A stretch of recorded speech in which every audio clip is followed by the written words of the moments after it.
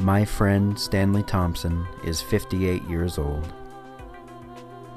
Stanley Thompson is battling cancer and is being taken care of by hospice at home. He has no health insurance, and his family is in great need of your help. The Thompson family is in great need of everyone's assistance, financial and prayer. My name is Dylan Crouch, and I am trying to reach out to anyone and everyone who has a heart to help a family in need.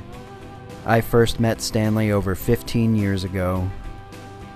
He is a dear friend of mine, a loving husband, and a great father. The Thompson family needs your help. I thank you for everything and anything you can do.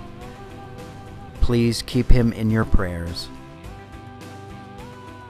For many, many years, Stanley Thompson has lived in Titusville, Florida.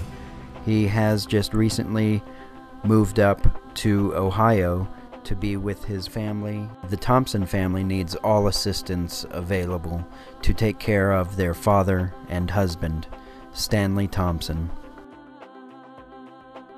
I thank you for everything and anything you can do.